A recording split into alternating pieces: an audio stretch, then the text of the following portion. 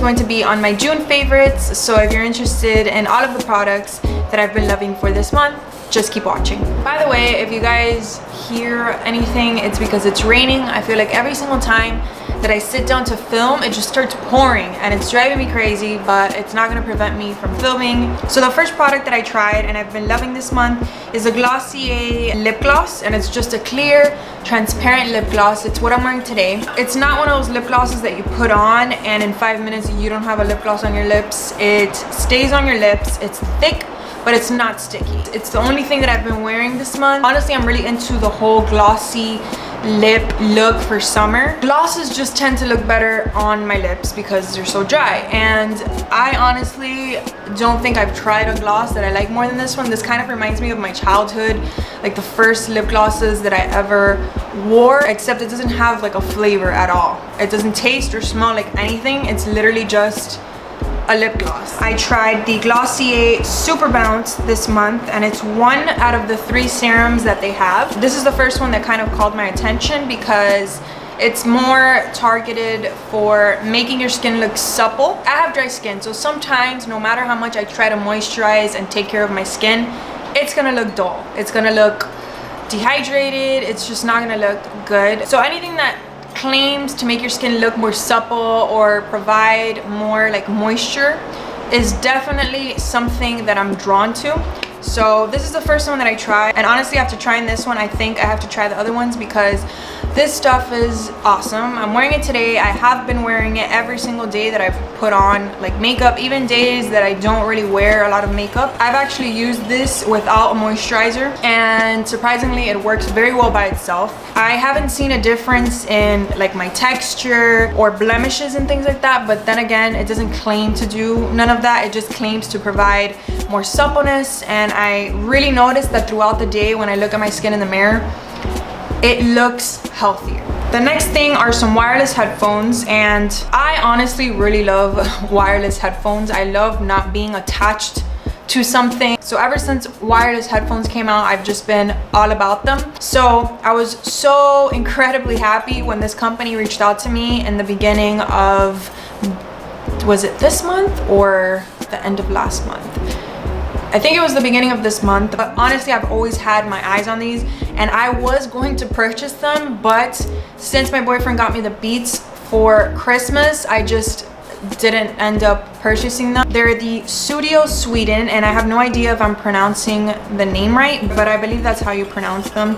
And they're just these white and rose gold beautiful headphones. And I really, really love these. I use these for everything. The audio on these is really, really good for how small they are. They just go right in your ear and it kind of blocks out background noise. Obviously, these aren't like the huge professional headphones that block out every single thing, but it does a really good job. When my boyfriend tries to talk to me and I have these on, I cannot hear him. I have to take them off. So personally, I really love them. And they were nice enough to give me a discount code for you guys for 15% off of anything that you purchase on their website. So I honestly really do think these headphones are awesome and they're so aesthetically pleasing. Aside from the fact that they're actually good, they look really, really cute. Next are actually the rings that I'm wearing. These are by Mejuri and I'm pretty sure that I've talked about Mejuri before.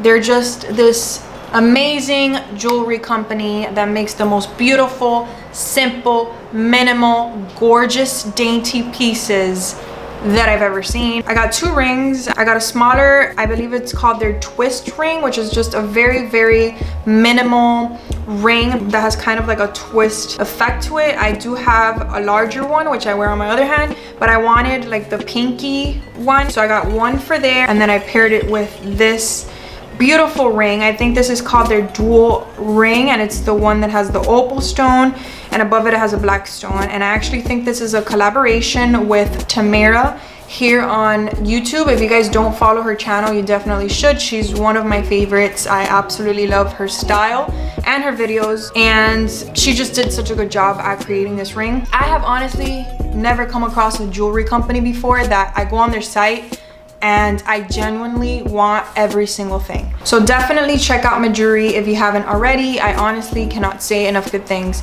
about this brand. I went to get a haircut and a treatment at the beginning of this month and I got a new shampoo.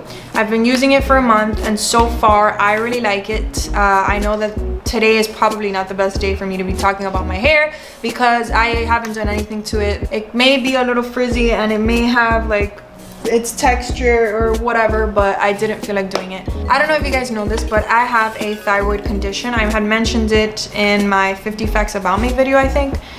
Uh, and one of the side effects that having a thyroid condition gives you is hair loss or like a lot of shedding. So it's something that I've struggled with. I just shed like a husky in the summer okay? I i shed a lot and i'm constantly trying to find products that kind of cater to people who have hair loss because i'm not trying to be bald by the time that i'm 50 i did try a new shampoo. It's called biotin aminocetyl i think that's how you pronounce that and it says it's for hair loss prevention and it's by the brand Arot. i don't know where my hairdresser gets these things but she just sells like products that she thinks are good and i always buy like a thing or two from her because I honestly think she's awesome. So far, I really like it. I only bought the shampoo. I don't have a conditioner for this. This doesn't like moisturize my hair. I have very dry hair, which is another side effect from having a thyroid condition. Your hair and your skin and everything just gets super dry. So I just have dry hair and textured hair.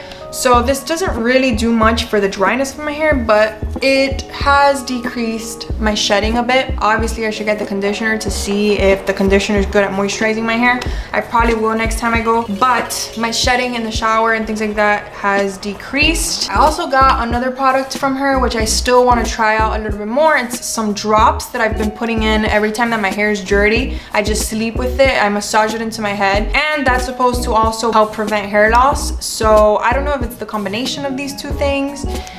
I don't want to talk about the other one yet because I haven't tried it for long enough. But so far, I like the shampoo. I've been using it for a month now and I will continue to use it and I do recommend it. Moving into fashion favorites, I only have one favorite this month. I have a feeling that I'm going to have a lot of fashion favorites for next month because I did purchase quite a few things this month and I got quite a few things. I'm just gonna try them out. And I'll probably mention those pieces for next month, but for this month, this has been my favorite piece. I am obsessed with gingham lately for the summer, and I got this cute little romper, which looks like this in the back. Of course, like always, I will insert some blog pictures that I took, but I really, really love this. It is just a piece that I throw on and that's it. My outfit is complete. I just throw some sandals on and my little woven bag next i have this little guy. This is a little wooden mannequin and i've honestly always wanted one of these. You can just move its limbs however you want and it's just so cute. I have this on my desk and i got it from a website called Banggood they reached out to me and this website just has so many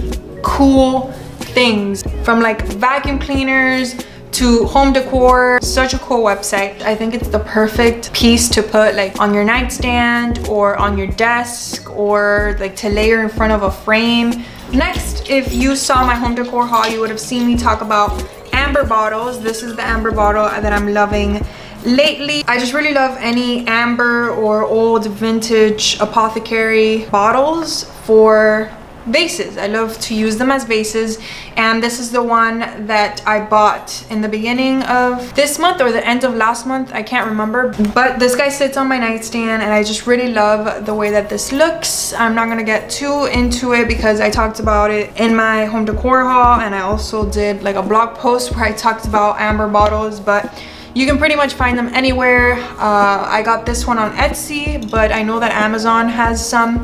I just really, really love amber bottles lately. This month, I actually got a vanity, and it's not really considered a vanity. It's actually the mini uh, mid-century desk from West Elm, but I converted it into a vanity. I'm still waiting for my chair, which should be arriving soon. And it's just so comfortable, and I have all of the makeup that I wear on a daily basis in it. I've organized it using Muji organizers. If you guys saw my desk slash vanity tour that I did for my old room and my old desk, you would have seen the organizers that I use. I use the same ones for this desk and they all fit perfectly. This drawer is really wide, very, very comfortable. So I think this is the perfect like mid-century vanity situation uh, for me at least. And it sits right next to my bed because it matches perfectly with the nightstand that I have in the other side of the bed. So I really wanted my own section like to put makeup on and things like that. Next if you guys saw my kitchen tour you would have seen these which by the way I just wanted to thank you guys. You guys left so many sweet comments. I got so much positive like overwhelmingly positive feedback in that video and I just wanted to thank you guys for that. But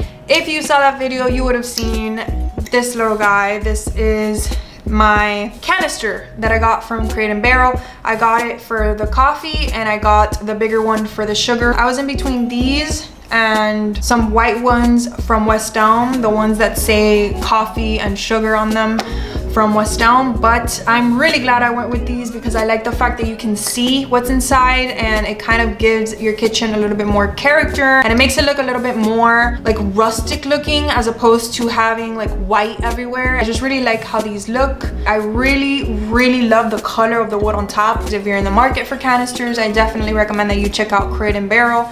They have beautiful beautiful canisters. For food this month. I know that i talked about halo top last month i think it was. Was it last month or the month before? I don't know. But i mentioned their birthday cake flavor. And i tried another one of their flavors because the publix by my house is just like halo top heaven. It has so many flavors and it's just like overwhelming. So i tried a new flavor and it's their peanut butter cup. And if you guys like Reese's peanut butter cups, I definitely recommend that you try this. It tastes just like actual peanut butter. This lasted like two days in my house. This is actually empty. I'm just using it to show you guys. And no, I am not sponsored by Halo Top. Halo Top has no idea who I am. I just really like this ice cream, so I wanted to share it with you guys. This is the flavor that I discovered this month and I just I needed I needed to share it because it's just so good. And my last favorite for the month is actually my blog. And I know that sounds a little vain, but I've really been trying to make an effort to blog more often. I've been posting three blogs a week and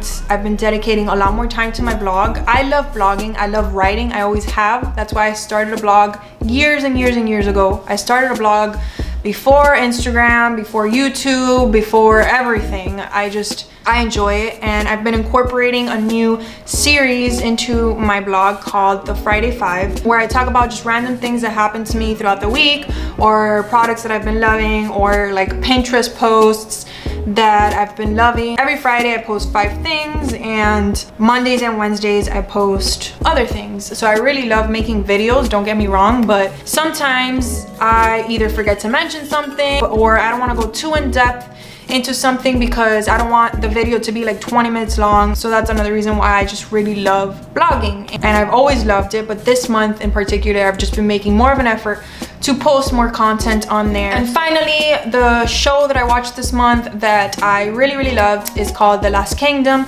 Again, you guys already know the drill. I'm always the last person to watch a show. I really enjoyed it and I think you guys would too if you're into that kind of show and that kind of storyline. As always, if you guys have any show recommendations, please let me know in the comments below. I love to hear your recommendations and I am currently on the hunt for another show. And that is everything for my favorites this month. Thank you guys so much for watching. Don't forget to like and subscribe if you enjoyed, and I will see you in my next video.